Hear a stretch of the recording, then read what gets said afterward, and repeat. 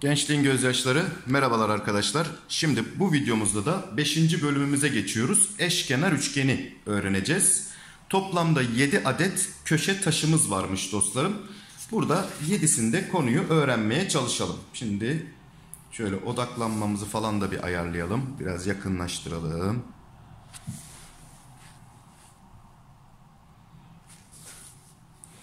Azıcık daha yakınlaştıralım güzel olsun. İyice okuyun bakalım siz de. Evet şimdi odaklanmaya da bir basalım. Biraz aydınlık olsun. Bu da tamamdır. Ve hadi bira bismillah diyelim başlayalım. Şimdi diyor ki eşkenar üçgenin kenar uzunlukları şunlardır. Buna göre y kaçtır? Burada neyi öğretiyor bize? Eşkenar üçgenin kenar uzunlukları birbirine eşittir öğretiyor. Dolayısıyla 2x eksi 6 3 kenarı var. Üçü de birbirine eşitlenecek. 2x eksi 6 eşittir. x artı 1'e hatta o da eşittir. 3y artı 2'ye. Şimdi ilk önce şu ikisini kullanıp x'i bir bulalım. Şu 1'i ya da x'i bu tarafa alalım. x kalsın. Eksi 6'yı buraya alalım. 7 olsun. Demek ki x 7'ymiş. Yani x'i de yerine yazarsam 7 artı 1'den 8 çıkıyormuş bir kenar uzunluğumuz. O halde 3y artı 2 de 8'dir. 2'yi buraya alalım. 6 olur 3y. 3'e bölersek de 2 olur y. y'miz 2'ymiş. Geçtik ikinci sorumuza. Evet ABC ve EC'de ikisi de birer eşkenar üçgenmiş. ABC'nin çevresiyle CED'nin çevresinin toplamı da 36'ymış. Şimdi küçük üçgenin bir kenar uzunluğuna A birim dersen Büyük üçgenin bir kenarı 6 artı A oldu. O halde burası da 6 artı A. Burası da 6 artı A. Şimdi toplayalım çevrelerini. Büyük üçgenin bir kenarı 6 artı A olduğu için çevresi bunun 3 katı. 6 artı A'yı 3 ile çarparsam 18 artı 3A yapar. Küçük üçgenin de çevresi bir kenarı A olduğu için 3 katı 3A yaptı. Ve bunların toplamı 36'ymış. Buradan 6A eşittir. 18'i bu tarafa atarsam burada da 18 kaldı. 6'ya böldüğümde A'yı 3 buldum. A 3 ise bana BC'yi yani 6 artı A'yı soruyor. 6 artı 3 yaptım. O da 9'a eşit geldi. Cevap Bursa'dan çıktı. Diyor ki sarı renkli şeffaf bir kağıt ile mavi renkli şeffaf bir kağıt üst üste getirilip aradan beyaz ışık verildiğinde bu kağıtların rengi yeşil olarak görünür. Peki. Şekilde beyaz ışık veren ekranın alt kenarına çakışık eşkenar üçgen biçimindeki şeffaf kağıtlar gösteriliyor. Tamam. Buraya kadar okuduk. Şurası bizi ilgilendiriyor. İki kağıdın birbirine en yakın köşeleri arasındaki uzaklık 15 santimdir. Sarı kağıt sağa doğru 9, mavi kağıt sola doğru 17 santim kaydırılınca oluşan bölgelerin çevresi kaç santimdir diye bir soru sormuş bize. Peki. Sarı kağıt kaç santim kaydırılacak sağa doğru? 9. Şöyle bir şey olacak o zaman. 9 santim bu kaydırılırsa şuraya bir yere denk gelecek şu ucu. 9 santim kaydırıldı. Şöyle olacak arkadaşlarım yeni üçgenimiz. Şöyle bir şey oldu. 9 santim bu tarafa kaydırıldı. Ee, diğeri de 17 santim sola kaydırılacak. Yani buradaydı 2 santim daha buraya girdi bu da. Şurası 2 santim olmak koşuluyla şöyle bir üçgen oldu bu da. Şöyle bir üçgen ve şurada da ikisinin kesiştiği yeri görüyorsunuz. Tabii ki bu da bir eşkenar üçgen oldu değil mi? Çünkü bunlar eşkenardı. Şuralara 60'tı. Bunun da burası 60'tı. Dolayısıyla üçüncü açı da 60 oldu. Ve bir kenarı 11 santim olan bir eşkenar üçgen çıktı karşımıza. 3 tane 11'den cevap 33 gelecek. Yani denizli şıkkıdır diyeceğiz. Evet birinci köşe taşımız tamam. Geldik 2'ye. Burada da çevresini vermiş yüksekliğini bulun diyor dostlarım. Hemen eşkenar üçgenin şimdi normalde yüksekliğini veren formül a kök 3 bölü 2'dir. Yani bir kenarın kök 3 katının yarısıdır. Şimdi çevresi 24 ise çevresi 24 ise bir kenarı 8. Yarısı 4 kök 3 katı 4 kök 3'tür. Bu sorunun cevabı ama biz bunu şekil çizerek bulalım. Şimdi çevresi dediğimiz üç kenarı Toplamı 24. O halde bir kenar 8 8. Bakın şuradan aşağıya yüksekliğimi indirdim. Eşkenar üçgendeki bütün yükseklikler birbirine eşittir ve bütün yükseklikler kayı kuralını sağlar. O halde burayı da 4 4 diye böldü. 60 dereceyi de 30 30 diye böldü. Ve bakın 30'un karşısı 4 iken biz biliyoruz ki 60'ın karşısı 4 kök 3. Demek ki cevap yani yükseklik 4 kök 3 olacak diyebiliriz. Ama formülle çözmek isteyen için de formülü bir daha yazıyorum buraya. Bir kenarın kök 3 katının yarısı olacak yüksekliğimizin formülü. Gelelim şuna. Yine bir eşkenar üçgen görüyoruz. Ee, BD 2 kök 19 CD x kaçtır diye de bir soru sormuş. Şimdi eşkenar üçgenin şuradan yüksekliğini biz hemen indirelim. Şimdi artık biliyoruz ki bütün kenarlarımız 10 santim ve yükseklik bir kenarı ikiye bölecek. Yani şurasıyla şurası birbirine eşit çıkacak. 5, 5 diyeceğiz buraya. Tabii ki yüksekliğimizde bir kenarın yarısının kök 3 katı olacaktı. 5 kök 3 olacak. Bakın şurada bir küçük dik üçgen çıktı. Hemen bu dik üçgenden hipotenüs biliniyor. Dik kenar biliniyor. Diğer dik kenarı yani şurayı da biz bulalım. Y diye. Şimdi 2 kök 19'un karesi. Hipotenüsümüz 2 kök 19. 4 çarpı 19 yapar. O da e, 4 ile 19'un çarpımı 6. Elde var 3. 76 geldi. Eşittir. 5 kök 3'ün karesi 75 mi yapıyor dostlarım? 75 değil mi? 25 çarpı 3'ten 75 artı y kare. 75'i buraya alırsak 1 eşittir y kare. Yani y de 1 çıktı. Demek ki şurası 1. O zaman 5'li toplam. Buraya da 4 kaldı. Cevap Denizli'den geldi. Evet üçüncü sorumuz. Bir kenarı 8 birim olan eşkenar üçgen biçimindeki bir karton. A noktasından BC'ye dik yani yükseklik indirildiğinde kesiliyormuş oradan da.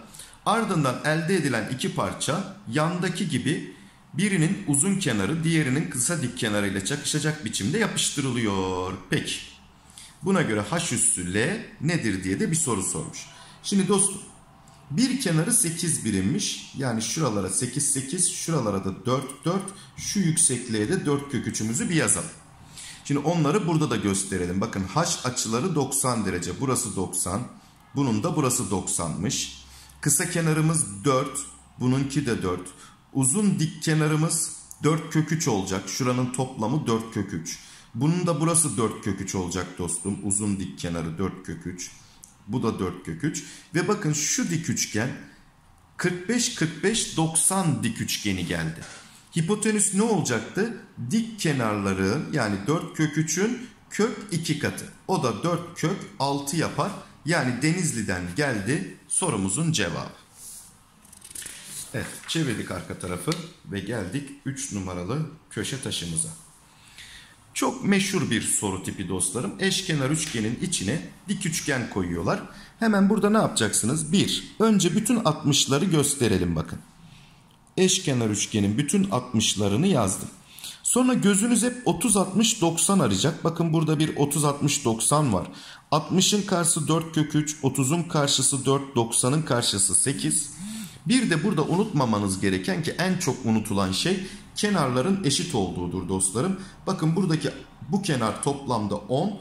O halde burası da 10 olacak. X'e kalacak 2. Hemen şuna geçelim. Bakın yine burada da eşkenar üçgenin içinde diklikler var. Hemen 60'ları yazıyorum şöyle bir kafadan. Sonra şuradaki 30 60 90'ı görelim. Bakın 90'ın karşısı 4, 30'un karşısı 2, 60'ın karşısı 2 kök 3 diyelim. Yine burada da 90'ın karşısı 6, 30'un karşısı yarısı, 60'ın karşısı kök 3 katıdır. 3 kök 3 diyelim. Bir kenarı böylelikle ne buldum ben? Toplamda 9. O halde şurası 3, şurası da 5'tir yazdık. Bunu da söylemiş olalım. Sonra isterseniz şurada kosinüs teoremi, isterseniz de şuradan hemen bir diklik çiziyorum bakın şuraya. Buranın da 4 olduğunu, şurası 2 kök 3 ise tam karşısı da 2 kök 3'tür ve şuraya minik bir kök 3 kaldığını söyledim. Hemen şurada da Pisagor'umuzu çakalım. x kare eşittir. Bir 4'ün karesi 16. Kök 3'ün karesi 3. Yani x kare 19'dur. x eşittir. Kök 19 geldi. Bakalım yeni nesilde ne sormuşlar. Karşıdan görünümü bir kenarı 20 santim olan eşkenar üçgen şeklindeki e, prizma pastada. Bakın şuradaki üçgen eşkenar üçgenmiş prizmamızın. Bir kenarı da 20 santimmiş.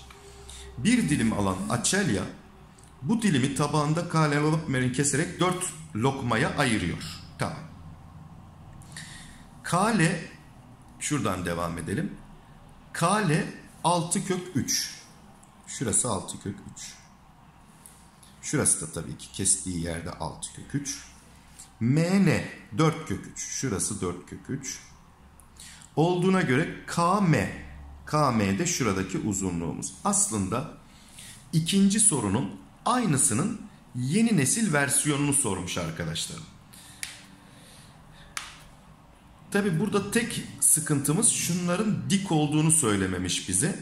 Normalde dik olduğunu söylemesi lazım şuraların ki biz soruyu çözebilelim. Şuralar dik olduğunu belirtmesi lazım. Şimdi buralarda tabii ki 60'ar derece 60'ar derece. Şimdi 60'ın karşısı 6 kök 3 ise 30'un karşısı 6 90'ın karşısı 12. Şuraya geldim. 60'ın karşısı 4 kök 3 ise 30'un karşısı 4 90'ın karşısı 8. Bir kenarımız toplamda kaçtı? 20 santimdi. O halde buraya da 10 kaldı. Şimdi hemen şuradan da yine dikliğimizi bir çizelim. X'i bulalım. Burası 10. Şurası 4 kök 3. O halde şuraya 2 kök 3 kaldı değil mi? Şurası da 4 kök 3 çünkü. Şurada da Pisagor'u çakalım hemen. X kare eşittir. Bir 10'un karesi 100. Bir de 2 kök 3'ün karesi 12. Yani x eşittir kök 112. Bu da 56 çarpı 2'dir. Ya da 28 çarpı 4'tür. Ya da 7 çarpı 16'dır. Dolayısıyla 16 dışarıya 4 diye çıkar ama 7 içeride kalır. 4 kök 7 olur sorumuzun cevabı. Evet 3 numarada tamamdır. Hadi geldik 4 numaralı köşe taşımızın ilk sorusuna. Yine çok meşhur bir soru tipidir dostlarım. Üçgene tamamlama sorusudur bu. Hemen iki tane 60 derece görüyorsanız sorunun içerisinde bunu üçgene tamamlayacaksınız. Şu şekilde ve 60 60 burada 60 gelecek. Bakınız burada 30 60 90 üçgeni çıktı. 60'ın karşısı 5 kök 3 ise 30'un karşısı 5 90'ın karşısı 10 geldi. Ve eşkenar üçgenimin bir kenar uzunluğu 13. O zaman bu da 13. Bu da 13 olacak. Demek ki 5'ten gayrı x'e 8 kaldı diyeceğiz. Cevap Denizli'den gelecek. Bakın aynısı arkadaşlarım hemen hemen. Sadece şurası 90 derece verilmemiş. Biz yine bunu şöyle uzatıp eşkenar üçgeni tamamlayalım. 60, 60. Burası da 60'tır diyelim. Şimdi şurası 75'tir. Ve şurası da 60, 135 yaptı. Şuraya da 45 kaldı. Şimdi bir kenarı 9 olduğu için buranın da 9 olması lazım. Demek ki şuraya 4 kaldı. Ve biz dik üçgende ne öğrendik? 45 ile 60'ı görünce karşısına diklik indirmeyi. Şurada 90'ın karşısı 4 ise 30'un karşısı yarısı 60'ın karşısı da kök 3 katıdır deyip şuraya 2 kök 3 yazdım. Bakın burada da 45 45 90 üçgeni çıktı. 45'in karşısı 2 kök 3 ise 90'ın karşısı bunun kök 2 katıydı. 2 kök 3'ü kök 2 ile çarparsanız 2 kök 6 yaptı. Cevap Edirne'den çıktı. Evet yeni nesil sorumuz. Çevresi 27 santim olan eşkenar üçgen. Demek ki bir kenarı 9 santim. D doğrusu boyunca katlanıyor. Şimdi biz katlama sorularında ne yapıyorduk? Katlanmadan önceki versiyonuna geri açıyorduk şekli. Şöyle bir açalım. Şurası C. Şimdi şu C üssü L katlanmadan önce burasıydı eşitler. Şu CK katlanmadan önce burasıydı eşitler. İkiz kenar üçgende kenar ortay aynı zamanda yüksekliktir, aynı zamanda açı ortaydır. Bunları belirtelim. Ve bu bir eşkenar üçgen olduğu için şuralara 60'larımızı bir yazalım. Bir kenarı 9'du bunu unutmayalım. Şimdi bakın şurada da küçük bir eşkenar üçgen çıktı. O zaman bu da 60. Neden? Çünkü ikiz kenar 60-60 o zaman bu da 60 olacak 30-30. Bunları da bir yazalım. Son durumda elde edilen A, B, L, C üssü dörtgenin çevresi 20'dir. Şimdi şu sarı dörtgenin çevresi de 21 santimmiş. Bunu da konuşalım dostlarım hemen. Şimdi şurada 30'un karşısına A yazayım. Burası da A. 90'ın karşısına 2A yazalım. Burada 2A. Şurası 9 eksi 2A'dır. Şurası da 9 eksi 2A'dır. X dediğimiz yerde. Peki sarı üçgenin çevresi, sarı bölgenin çevresine ne yazacağız biz şimdi? 9 var bir kere. Artı şurada 9 eksi 2A var. Artı burada bir 2A var. Artı burada da 9 eksi 2A var. İşte bunların hepsinin toplamı 21 santimmiş. Şimdi hemen şu 2A ile şu 2A gitsin. 9, 9, 9. Ne kaldı burada? 27. Bir de eksi 2A var eşittir 21. 2A'yı buraya alalım. 21'i buraya alalım. 6 olsun. Demek ki A eşittir 3 çıktı. Tabi bize A'yı sormuyor. Bize X'i soruyor. 9 eksi 2A'yı yani 9 eksi 6'yı soruyor. Ha, o da 3 geldi dostlarım. Cevabımız Ceyhan'dan çıktı. Evet 5 numaralı köşe taşına geldik. Birinci sorusu. Çevre ABC kaçtır diye soruyor. Bize de AK ile BH'ın toplamını vermiş. Eşkenar üçgenin tüm yükseklikleri eşitti dostlarım. Yani bu yükseklik H ise bu yükseklik de H. O halde bize 2H'ı 16 kök 3 diye vermiş. Demek ki yükseklik 8 kök 3. Yani şuradan aşağı inen diklik 8 kök 3 birim dostlarım. Ve bu eşkenar olduğu için burası 60, burası 30. Yani 60'ın karşısı 8 kök 3, 30'un karşısı 8, 90'ın karşısı da 16 geldi. Bir kenarı 16 ise çevresi 3 çarpı 16'dan 48 yapar dostlar. Şuna bakalım hemen. Eşkenar üçgen ve AD paralel BC. Tamam bunlar paralel. Ve bakın şu AH dediğim şey bir kenar ortay. Eşkenar üçgendeki kenar ortay aynı zamanda yüksekliktir. Aynı zamanda da açı ortaydır demiştik. Buralar 30-30. Şu da yükseklik. O zaman bu da açı ortay 30-30. Şurası 60 derece. Bunu yazalım. Şimdi BH, CK, CH'a, BK, BK'yı görelim. Şurada bir BK var. O da AD'ye eşit. Şimdi bu bizim yüksekliğimiz AD'ye eşit. E bu yükseklik aynı zamanda AH'a da eşitti. Çünkü neden? Eşkenar üçgendeki yükseklikler birbirine eşitti. O zaman AH ile BK eşit. Dolayısıyla AH ile AD de eşit olmak zorunda. Peki başka ne var? AC 6. Eşkenar üçgenin bir kenarı 6. HD'yi soruyor bize de dostlarım. HD. Şimdi şurada bir paralellik vardı. Biz bu paralelliği de konuşalım bir dostlar. Şurası Z harfinden 60 derece geldi. Yani şuranın ölçüsü 90 derece çıktı. Demek ki bu üçgen ikiz kenar bir dik üçgenmiş dostlarım. Şimdi biz AC'yi yani eşkenar üçgenin bir kenarını 6 diyebiliyoruz. O halde 90'ın karşısı 6, 30'un karşısı 3, 60'ın karşısı 3 kök 3. O zaman şu da 3 kök 3. Yani ikiz kenar dik üçgenimizin 45'lerinin karşısı 3 kök 3. 90'ın karşısı ne olacak? 3 kök 3'ün kök 2 katı 3 kök 6 olacak. Demek ki HD uzunluğumuz 3 kök 6'dır. Yani cevap Bursa'dan geldi. Evet şuna bakıyoruz. Aşağıda eşkenar üçgen biçiminde bir uçurtma gösterilmiştir. Tamam. 90 santim uzunluğundaki bir çubuk 3 parçaya ayrılıp üçgenin yükseklikleri boyunca uçurtmanın iskeletini oluşturuyor. O zaman şu yükseklik, şu yükseklik ve şu yüksekliğin toplamı 90 santim. Demek ki her biri 30'ar santim. Şimdi yükseklik 30 yani 60'ın karşısı 30. O zaman 30'un karşısı ne olacak? Bunun kök 3'e bölünmüş hali. Yani 10 kök 3. 90'ın karşısı ise 2 katı. 20 kök 3 oldu. Şimdi devam edelim. Buna göre uçurtma üzerinde bu 3 çubuğun kestiği nokta ile uçurtmanın bir köşesi arasındaki uzaklık kaç santimdir diye bir soru sormuş. Yani bu 3 çubuğun şuradaki kesim noktası ile uçurtmanın şuradaki bir ucu arasındaki uzaklık. Dostum bu 10 kök 3, 10 kök 3 diye burayı da böldü. Şu yükseklikti 90. Şurası da 60 kaldı. 60'ın karşısı 10 kök 3 ise 30'un karşısı 10. 90'ın karşısı da 20 çıktı. Bu da 20. Bu da 20 olur. Yani bir köşeye olan uzaklığı 20 santimdir diyebiliriz. Cevap Edirne'den geldi. Evet 5 numarada tamamdır. Geldik 6 numaraya.